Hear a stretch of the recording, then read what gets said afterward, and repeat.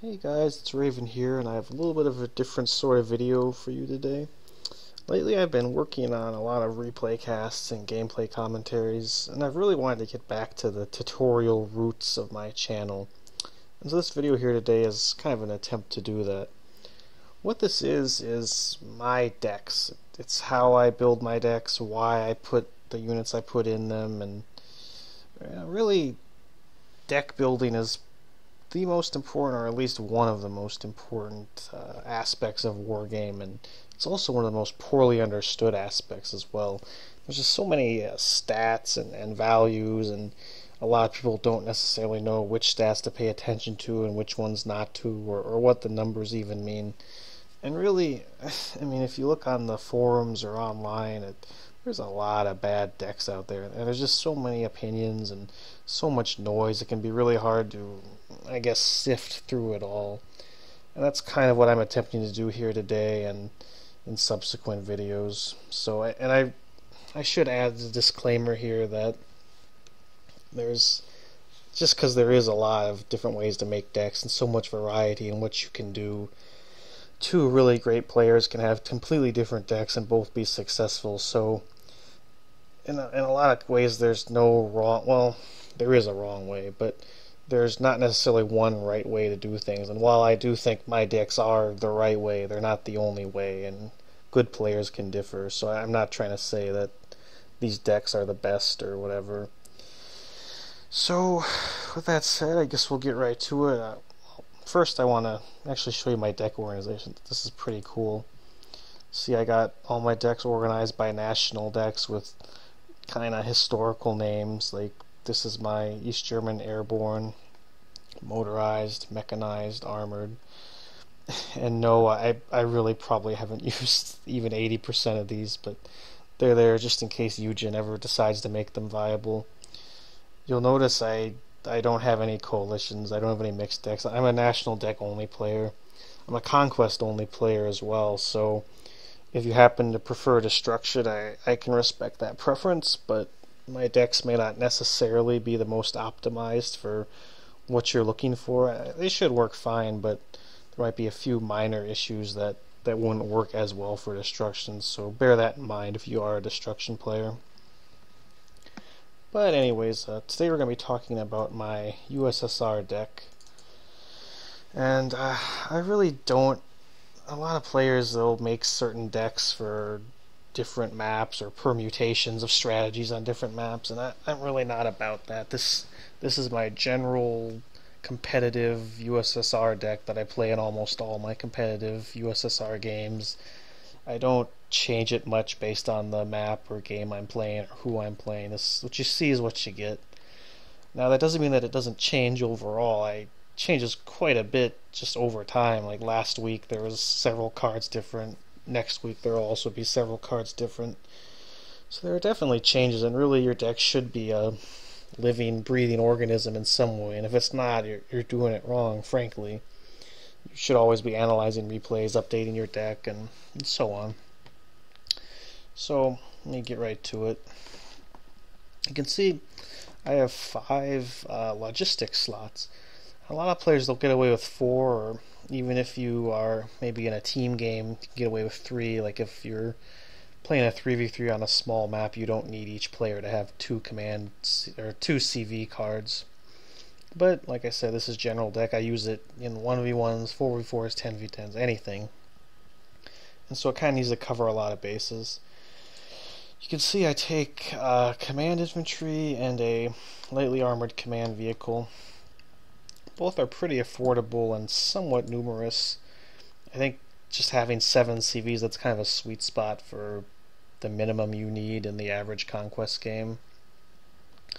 Uh, I like infantry CVs because you can use them, you do a lot of things with them. They're really easy to hide, they're real stealthy, but you can also, uh, for example, a lot of people talk about getting recon behind enemy lines and sniping CVs, and yeah, you can do that, but you can also walk uh, command CVs behind or command infantry guys behind enemy lines too, and get to a zone that maybe they thought was safe and they're not don't have well guarded, and then sneak into it and neutralize it. They, they have no idea where to even begin looking for your CV, or they may not even notice if it's in the back lines. It's a strategy I've done several times, and it's it's rare you can pull that off, but it's an interesting thought. And even just you can put these guys in buildings and then shift them around so they can avoid bombing and artillery. They're a pretty effective CV, also immune to cluster munitions. And this this is just light, amphibious, fast, lightly armored. Uh, I don't really like the Jeep CV. It's pretty popular because it's so cheap and you get seven of them in a card, but they only have 5 HP and they don't have any armor, so basically any stray artillery shell or whatever will really kill them and then that cost effectiveness goes out the window when you need to pay 100 points more for a second CV when your 120 point BRDM 2U might have survived. Now, if you're going to take something like a command tank, which is distinguished by its high top armor, letting it survive artillery and bombardments a lot easier, then it, it makes sense to do command jeeps with tanks because the armor and low availability of the tank is then offset by the jeep in the overall scheme of your deck. And that does work. I do that in some of my decks, but for this deck I do command infantry and a light APC CV. so, and you get to supply, and generally it pays to do the highest, or the, let me say the most expensive supply vehicle. And that's because, for example, if we compare the Ural 4320, which I picked, to the Ural 3750, the Ural 4320, and I'll, I'll, actually have the math up in an annotation so you can see it a little more clearly, but you get nine 4320s per card times 1100 liters of supply capacity. That's uh, over, it's over 9,000 uh, supplies. Uh, per card. So this whole card of 9 comes with more than 9,000 supplies, whereas the Ural 4320, you get 11 per card. Or no, excuse me, the Ural 3750, you get 11 per card at 800 liters of supply. That's only 8800 supply. So on its face, you get more value per points out of the more expensive uh, supply vehicle, and you get more supplies overall.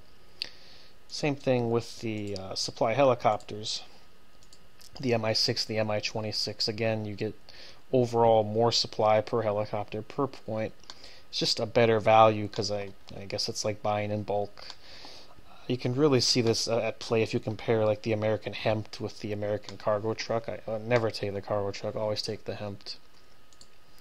And lastly, um, a fob. This is actually the most supply efficient unit in terms of points uh, excuse me, in terms of supply divided by points. That that's how you can determine the efficiency. So you get the most supply per points in the fob, but of course that's taking units off the front lines in the initial engagement because you have to buy it at the start.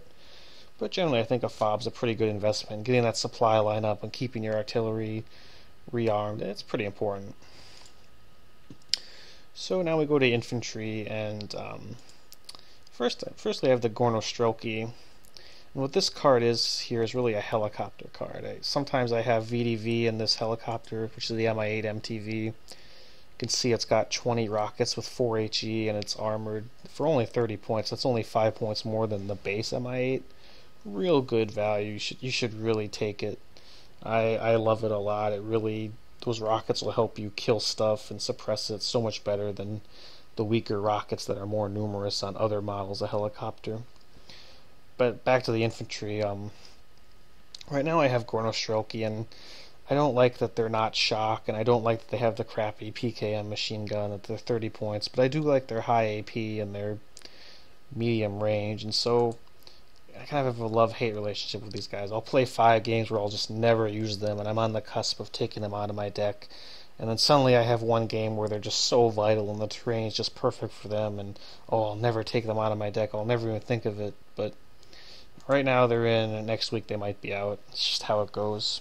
You know, decks evolve.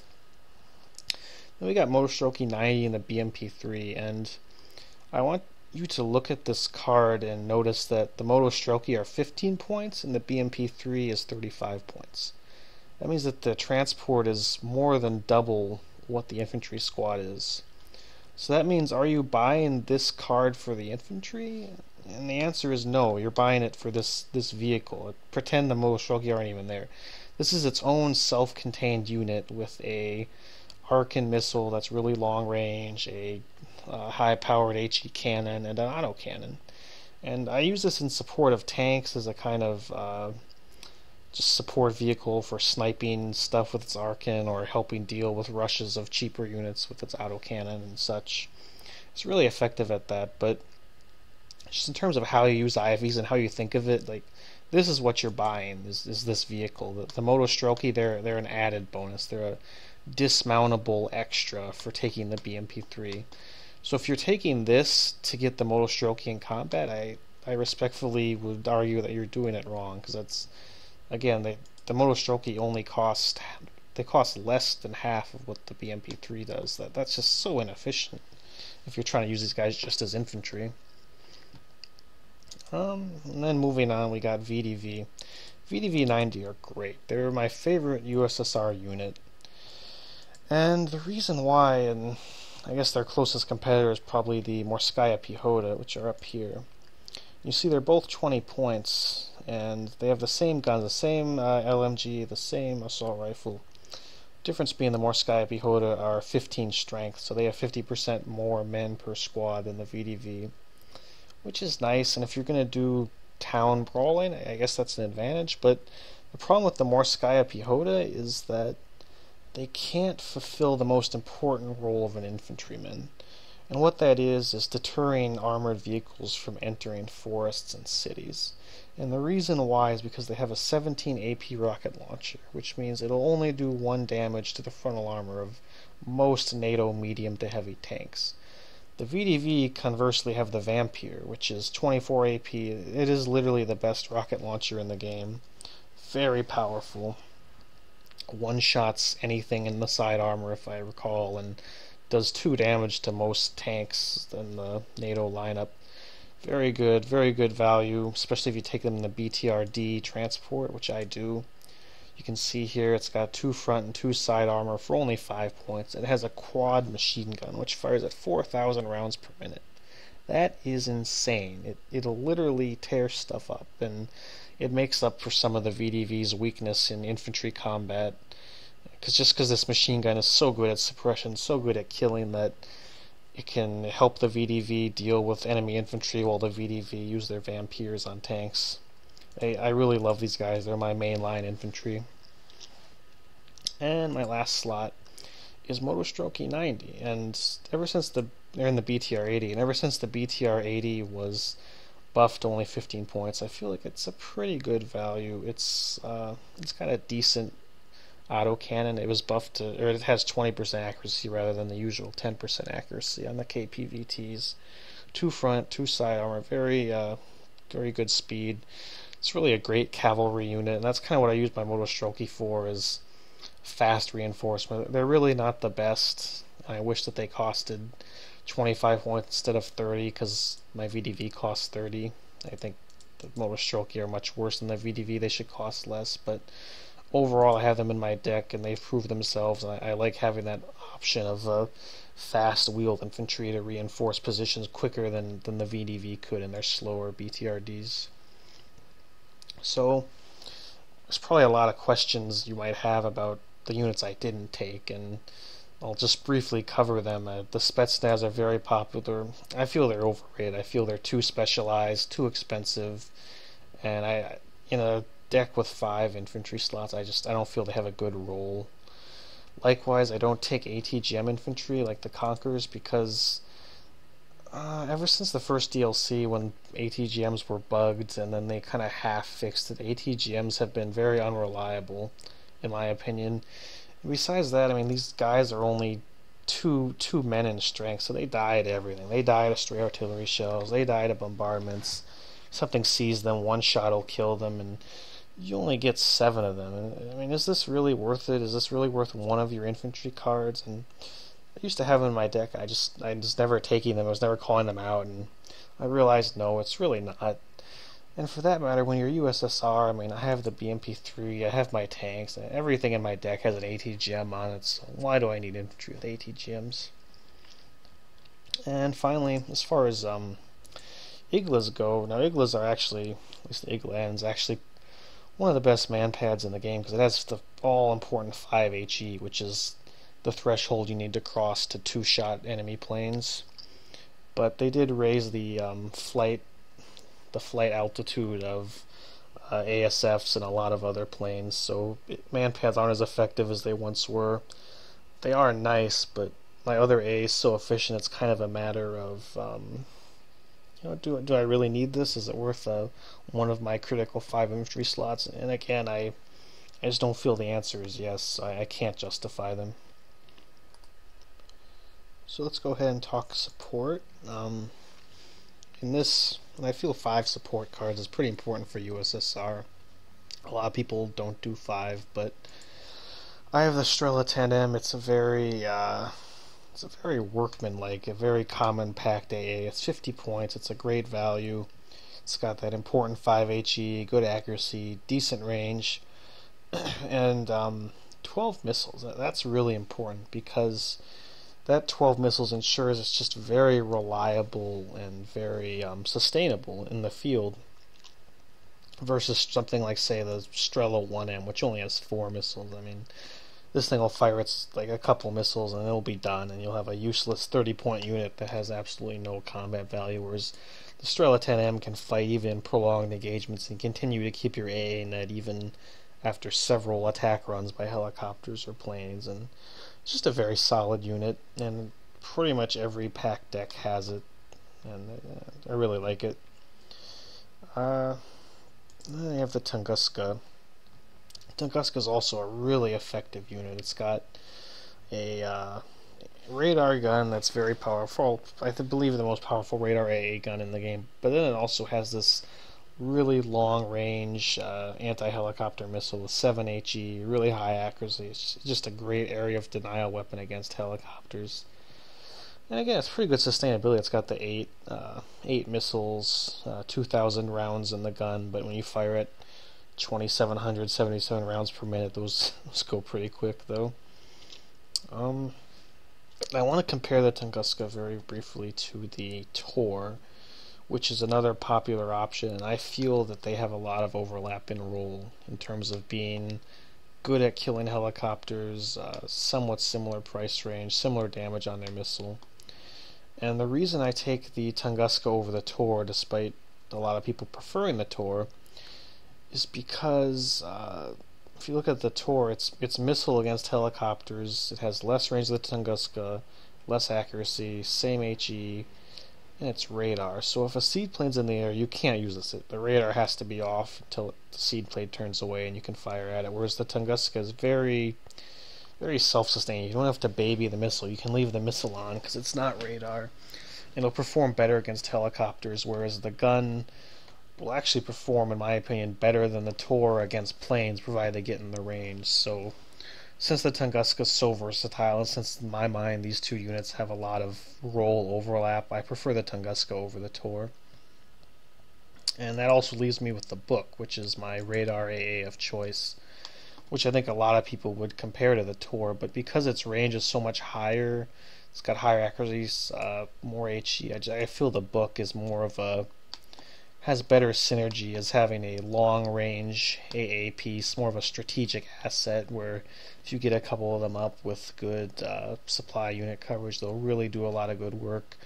With the Tunguska being my more mid range asset and my Strela 10M being close range, I feel this is a better combination than trying to do it all with the Tor because I don't think the Tor really excels in either of its roles compared to the Tunguska and the Buk. So that's just my preference. A lot of players do love the Tor. And um, then I guess we have artillery. I have the Vasilik. The Vasilik's a really nice mortar. Uh, you'll see its direct competitors, the Podnos, which, uh, let me compare them, which is 10 points less. It's got pretty much the same stats except one more rate of fire and 15 less, uh, less, less shells in the gun. And so you'd say, oh, you know, 10 points less, take the Podnos. But what the stats don't tell you is the Vasilik, and you can test this out.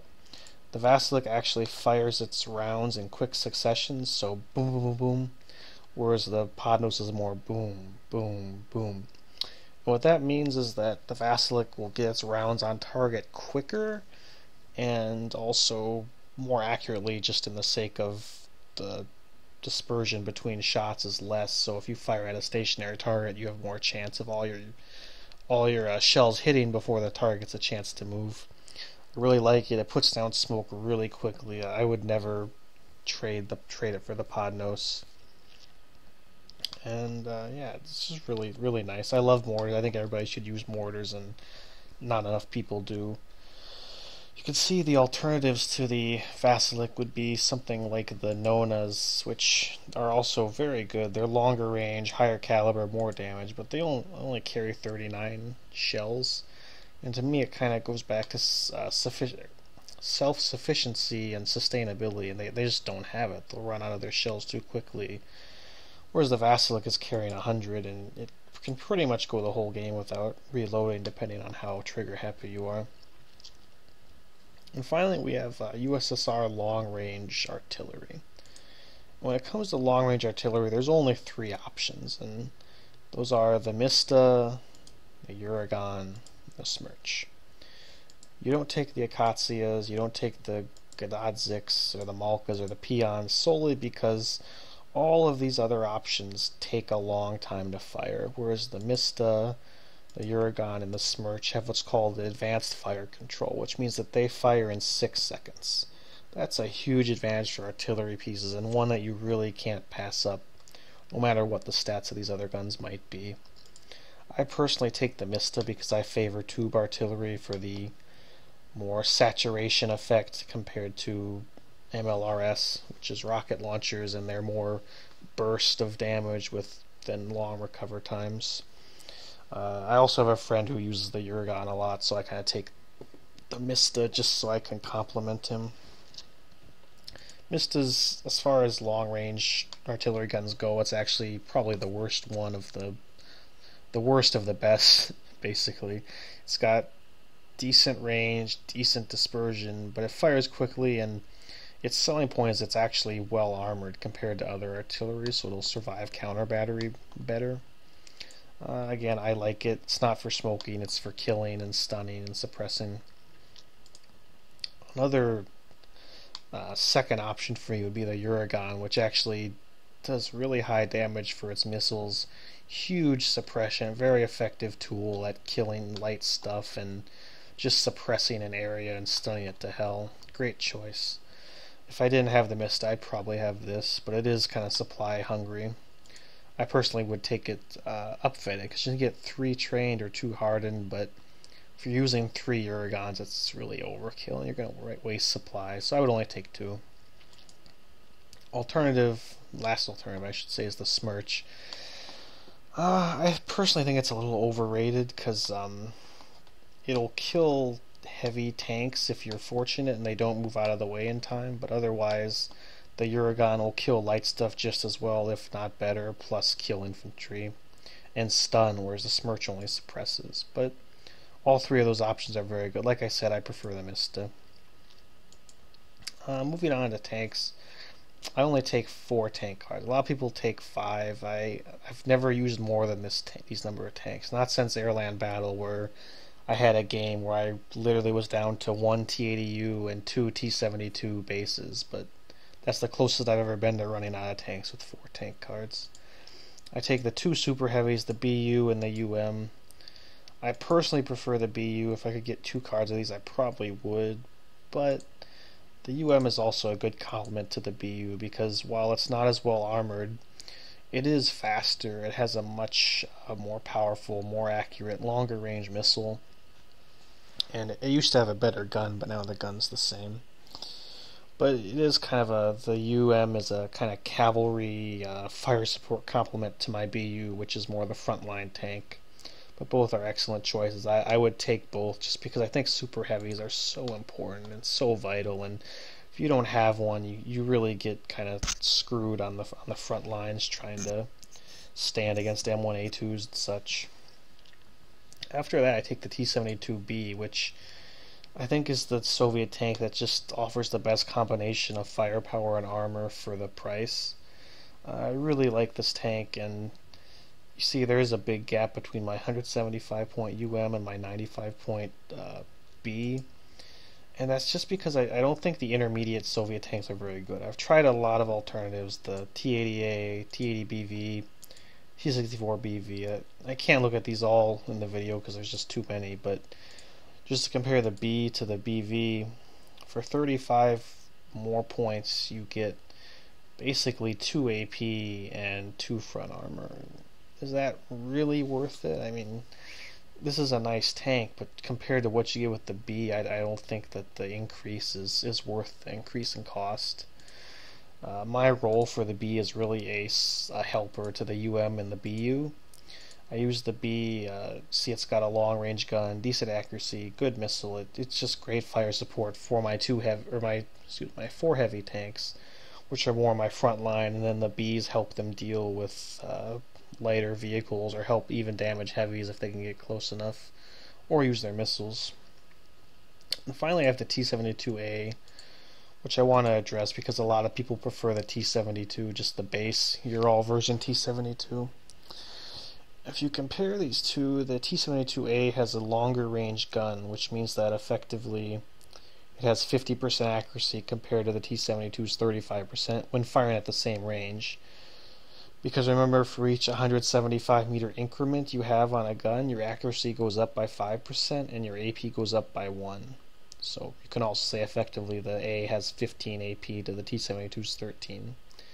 Uh, more rounds per minute, very important for tanks. Two more front armor. Uh, medium optics, optics, which isn't a big deal, but it's also nice. I, I, th- I feel that for only 10 points, the T-72A is a much better value. I use it for one of two things. Either as a forest brawler, because at uh, at forest range, which is 350 meters maximum, this thing is going to have 20, 21 AP, something like that. Uh, very high damage for a 45 point tank with decent armor. Excuse me. Click on this one. No, this this will be more like 22, 23 AP with uh, decent armor, just very good value for only 55 points. The other role I use it for is just to give bulk to my uh, tank pushes. If it's out in the open, I, I, just need more numbers. These guys will survive uh, most NATO, at least one hit from uh, most NATO missiles or tanks, and that's that's critical. Being able to survive a hit and have to take two hits to kill just basically doubles the strength of my force in terms of uh, survivability, which is important for standing in front of the UMs and the BUs while they kill stuff. Um, very happy with this tank lineup. I haven't changed it for a long time, and I've tried a lot of different things, but th this is what I've settled on for now. Recon, I have the BRM 1K, which is an exceptional optics BMP1 essentially. I have it for its exceptional optics because there really is a huge difference between exceptional optics and very good optics. If you ever get a chance to test this, like uh, drive a very good optics vehicle at something and see how far away it detects it, and then drive it away and check with the exceptional optics, you'll be amazed at the difference. And so, if I want to take an exceptional optics ground vehicle, then it's either this or the Plamiya, which is a, a Jeep. just because the BRM 1K is armored and I, I like it because it keeps up with my tanks well and it survives stray artillery shells. So eh, you're definitely not taking it for for the Gronks. The that gun's absolutely terrible, but it's just for looking at stuff, and it does that job pretty well. Also take the Spetsnaz GRU, which are a pretty badass uh, recon squad, and they come in a BTR-80A, this transport here, which you can see it's a fast wheeled transport with uh, a good autocannon. I actually use this unit for much the same role people would probably use the BRDM-3, which is actually a, you can see it's a recon, basically a recon BTR-80A, which is what these guys are riding in. So for only 50 points, which is 5 points more, I get better optics, because the GRU have very good optics. I get a dismountable, badass recon squad, and then I get a, a vehicle with the same uh, capabilities as the BRDM3. There's really no no contest to it in my mind. Uh, I use these kind of as a forward deployment unit that I get one or two of them to rush ahead of my force and either uh, find a way through enemy lines or secure critical territory, and then later they turn more into hunter-killer squads that I send kind of the unexpected places of the map and try and find soft targets. Uh, then we have the MI2. It's just a 40 point cheap recon helicopter. Uh, the reason I have it is because just just to have really cheap eyes. Recon helicopters are really maneuverable, and it allows me to balance off the high balance out, excuse me, the high cost of my last card, which is the KA-52 Recon Akula. This thing I notice I take it upfetted, and the reason why is because not only does higher veterancy help recon units with detecting units and uh, more identifying units, like rather than having a blank uh, icon with a question mark, it'll tell you what the unit is quicker. But it also has SEAD missiles, and when I upfed it, taking the higher veterancy makes these that much more accurate and that's that much more dependable because you only get two of them, and if you can land uh, two SEAD missiles and take out an enemy, the pair of enemy Gepard flak panzers, then that's just a great asset. It's very sneaky. It's got stealth. It's got exceptional optics. It's fast. The autocannon's not that useful because it's mounted on the hull, so the, the helicopter has to do kind of acrobatics to point it at the enemy. Uh, it's also got Iglas, which are nice, but I really wouldn't use this helicopter as a dedicated anti-air helicopters. It's just too too expensive for that and too valuable to risk in that role. It's kind of a extra self-defense bonus in my view. And then we got vehicles vehicles is really the kind of miscellaneous section in Wargame. This is where you put the points go to die, extra points. It, this is where, but at least with the USSR, they actually have a lot of interesting options, and I think more so than anyone else, frankly. Um, the units I pick in particular are the BMPT. This is an armored infantry assault vehicle, I call it. It's got a grenade launcher, a powerful uh, high explosive gun, and a powerful autocannon, combined with 15 front armor, good speed, good autonomy. It's a very good unit. I love it as a fire support unit in forests or to help attack cities where it'll just decimate infantry and then also be able to deal with most light tanks by stunning it with a grenade launcher and then killing it with an autocannon very useful unit. I love it. I, I would never take it out of my deck, probably. Uh, my other unit, well, before I get to that, let me just say that the BMPT has some kind of alternatives you can take, such as the flame tanks or the Afghansky, which is a, basically a Shilka Biryusa without a radar. It's just a fire support gun. And these flame tanks obviously fire flamethrowers. These three, the flame tanks, the Afghansky, and the BMPT, kind of have a similar role. And I've tried having the flame tanks and the Afghansky in my deck, but I've just I found myself always saving up for the BMPT because it was just so useful and so more versatile that I, I just couldn't justify these units. I didn't find them useful enough. Now in my Eastern Bloc national decks, I do have flame tanks, so you'll will you will see those if I ever show you those decks. But for the purpose of my USSR deck, they just don't really work for me. That's why I don't have them. Uh, and then I have the Buratino. This is what I do have, and that's a uh, basically a rocket launcher that fires napalm rockets mounted on a T-72 chassis. And it's a unit I probably don't use often enough to really justify it being in my deck, but when I need it, I'm so glad I have it because it's just it's just a hammer to really break up defenses and just hammer assaults and it's very powerful at clearing cities and forests and stunning stuff and it's a perfect vehicle to, in preparation for a major attack and combined with a Uragan or a Mystic can really just tear apart some defenders if you use it in the opening stages of your advance so it's another of those units that I probably go five games without using it and just when I'm thinking about taking it out of my deck, I say, oh no, and I have a really good game and with it, and it, it has to stay. Very quickly, and I know this video is getting kind of long. I apologize, but it's probably my favorite, most used deck, so I have a lot to cover, and I'll, I'll try and make future videos a little more streamlined. But I want to talk about some other popular alternatives in the USSR vehicle tab, and that is the Norov, which is basically a tank destroyer. It does have high rate of fire and decent accuracy, but only a medium range gun, low AP, and virtually no armor. And so, for that reason, I know a lot of people like this gun, but I, I would rather pay 20 points more to get a T72A, which has essentially a, a equivalent gun with just different stats, but much more armor, much more versatile. I I just don't see a real niche for this weapon.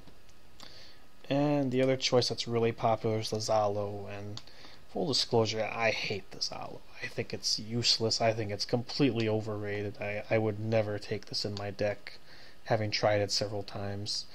It's got 20 rate of fire, which they buffed it up from 10 quite a while ago, and that kind of led to a resurgence in the Zhalo. But I just feel its accuracy is so low and its AP is so low. Uh, bad armor can, can only barely fire on the move. I just think that it doesn't have a very good role. And if you want a good cavalry tank, I can show you the AMX 10, which is a French cavalry tank. Now that thing is quality, but th this thing, it's just. I think the 20 rate of fire is too much of a gimmick, and I don't think it's got a good place in really any deck except maybe an airborne deck, because it's an airborne vehicle. But a lot of good players use them. Amber T uses them, and well, good players can differ, I guess. Um, moving on to helicopters. I take the Mi-24V, which is armed with eight Iglas. Of course, I like that it's got a Yak uh, gun, which is very fast firing, good at killing helicopters. You can see here, it's the gun is rotating, like on on the front. What that means is that, uh, unlike hull-mounted helicopter weapons, it doesn't need to be pointing straight at a target to fire it. This is a huge advantage with target acquisition and and getting able being able to fire it quickly rather than having your helicopter do acrobatics to point at the enemy. I will say I don't do very many helicopter rushes, so this is more of a unit to defend against helicopter rushes, and it does that role pretty well. Uh, my other choice is the Mi-24 VP, and I love this helicopter. As you can see, it's got the kind of uh, oscillating turret on the front for its gun, which means it also does not have to be pointing directly at a target to acquire it. It's actually an autocannon. Decent accuracy for an autocannon, really nice rate of fire, good range. It's got these very powerful 2HE rockets and a big load of them. It's got 80. And ever since they uh, upgraded this to having the Kokon M's, which are 22 AP uh, ATGMs, I've really felt this is the best combination of attack helicopter and tank buster and really that fits with my helicopter doctrine because I, I use this helicopter more as support like suppressing infantry or tanks rather than sending it at at like leopard 2a5s trying to kill them with missiles because I, I generally don't find that that works very well. And uh, just want to show the alternative like the mi28 here which is 30 more points you get arguably a more effective autocannon. You get more powerful uh, rockets, but at the cost of only 10 instead of 80. I don't really like that. And you get these missiles, which there's 16 of them, but they're only 22 AP, just like the Kokon M, and only a little bit more accurate. So I just, for a much more specialized helicopter that frankly doesn't do its role any better than the Mi-24 VP does, I, I don't see the Mi-28 as having any value. That's why I prefer the uh, VP. The only other one that you could really consider is the Akula, which is a decent helicopter. It actually does have high AP on its missiles. It's got stealth. It's got the nice iglas for defending itself. Uh, I personally just think it's too expensive. 150 is. Mm, I I don't really like that. And again, this is more of a focused tank busting helicopter. And I, like I said, I don't use my helicopters for that. So it's the VP for me, and I've been very, very happy with this. I, I love this helicopter, and I, I use it quite a bit. A lot of my starting deployments actually incorporated into it, and I've had a lot of success with that. So definitely try this one out. And uh, quickly, I'll go through planes. I take the uh, SU-27PU. You can see I've got a really nice, cool camo for it. I think it's uh, I can't think of who it, who it is now that does this, but check out the modding section for different skins. Very cool options there to just pimp out your units. Now, admittedly, the PU is kind of a high risk, high reward unit because you only get one of them per card. But you do get them at elite. They have excellent armaments. They're very reliable because they are elite with high accuracy weapons. So if you're careful with it, you can really wield it well and get a lot of value out of this. it gives you the insurance of having the very best. There is no blue 4 plane that outclasses it. There are some that equal it, but being able to fight the enemy Rafales and such on equal footing is just really important in my mind. And I, I do like this plane, though you have to be very, very careful with it. A good alternative is the SU-27S because you get a lot of similar capabilities for cheaper, and you get two uh, two per card, which is pretty good. It's it's not quite top of the line, but it is very nice, and it's a great alternative to the PU. Real quickly, the other popular, not so much anymore popular, but especially in beta, the Yak 141. It's a nice plane, but it only has two of each type of missile, which means there's a lot of situations where you send it at an enemy and you'll fire all four of your missiles and have not killed your target and then you're chasing it with a gun and that that's just not what you want to be doing with your yak one for one you want to get in fire missiles kill something get out and it's it's just not reliable enough in my mind, so I, have tended to avoid it. So PU for me, but SU27S is a good uh, alternative, I think. For Tank Buster, I do like the SU-25. It's just a very versatile. It's got uh, powerful missiles. It's got a uh, AP gun that fires somewhat quickly, good range. And it's got rocket. Look at these um, 11 HE rockets. Those are basically like the bombs on some planes impacting when you hit a target. Um, very multi-role, but generally for killing tanks and sometimes rooting out infantry. Now, I have to say that while I like this plane, it's also not optimum, and that's that's kind of a problem with the Soviet plane lineup overall. Is you have an alternative in the Su-25T, which you're paying 60 more points for weaker missiles, which you get 16 of them, and you're not even ever going to use 8 of them, probably. It's just, you're horribly overpaying for these side, these Vimpels you'll never use, missiles you'll never use. It's just not a very effective plane. It's too much of a point sink, and it doesn't even do its job very well because, like I said, it's only got 26 AP odds missiles. It's going to take three of these, or excuse me, four of these missiles to kill an M1A2 Abrams from the front. And that's just too much for a 200 point attack plane. Now, a 200 point attack plane that is worth it is the Su-27M, which it's a very good plane. It's probably one of the only true multi-role planes in the game because these Vimpels are actually very long range, very accurate, very powerful. They they can actually double as a ASF interceptor role. But mainly you get it for these high 30 AP damage, uh, fire and forget rockets with this nice uh, range on them. This is a pretty good plane. The only problem is you only get one of them, and 200 points, and uh, I've I've used it several times, and I I like it, but it's just if I had it in my deck, I would have four plane cards and only five planes between the PU, the SU-27M, this, and this. And I, I just decided that that was just too much, and I, I didn't want to go that hard and heavy. Besides, the SU-25 is a lot more affordable and to some extent disposable. For bombers, I prefer the MiG-29S, and this this is a very firm preference. I, I would never abandon this plane. Unlike its competitors, it has really high ECM, 40% ECM, which means that more often than not, this plane gets to come home. And with your planes, uh, you don't want to have a plane that only does one run. That's you're essentially paying 120 points for a missile if your plane only goes once and dies on the evac. And so just the reliability of this plane being able to go for run after run really just increases its value. The bombs itself are okay. The sidewinders it has are okay. They're more for self-defense than anything, but it does have a nice dual helicopter role if you're going to maybe go after a, a helicopter you see sneaking behind your lines. It's also fairly fast, so I, do like this. The MiG-29S is a very good value in my book.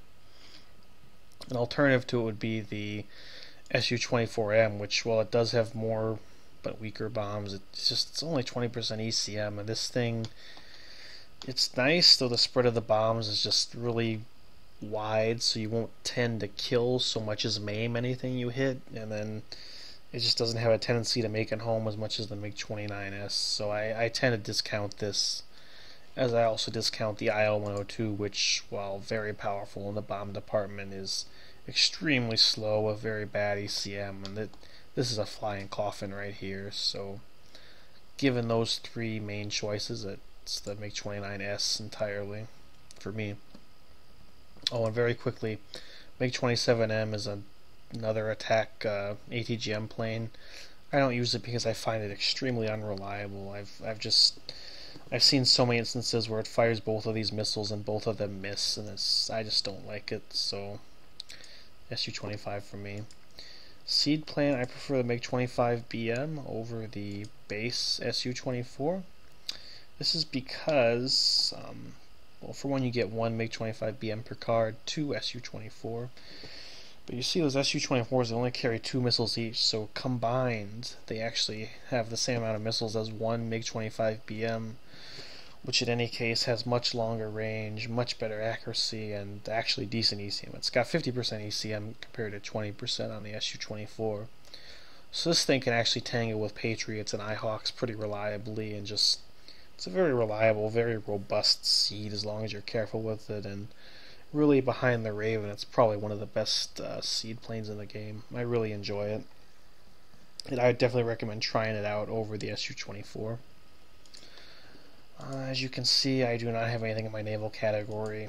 I think naval is an unremittent disaster, and I have naval cards in virtually none of my decks, so please don't ask me for naval decks or naval strategies, because I, frankly, I have no idea. But anyways, um, that's my USSR deck, and it's one I'm really proud of. I use it a lot, and I enjoy it a lot, and uh, I'll post a code for it in the description, but I, I would recommend everybody to take it and make it your own. Don't don't just eat my deck up because I said it's good. You know, everybody should have their own doctrine and their own play style, and use the units that work for you. And just just take my advice and my my guidance, not not just swallow my deck. uh, sounded a little wrong, but anyways, um yeah, I, I, would really like a lot of feedback on how this video went. I know it was very long, and I, am sorry for that. I, I wish it could have been a little shorter, but um, just how I can improve, maybe what what deck to cover next time, uh, just gen general feedback, general comments on this. Uh, would really appreciate it. And as always, uh, like, comment, subscribe, and uh, well, thank you for watching. And I hope you liked my deck, and I hope you liked the video. And uh, that's all I have for today, so this is Raven signing off.